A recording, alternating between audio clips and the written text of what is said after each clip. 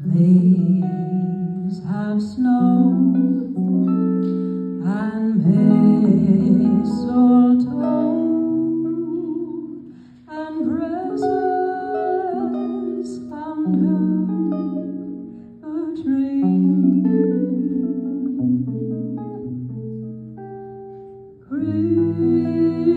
Christmas Eve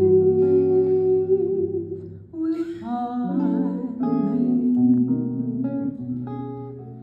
where the love light gleams.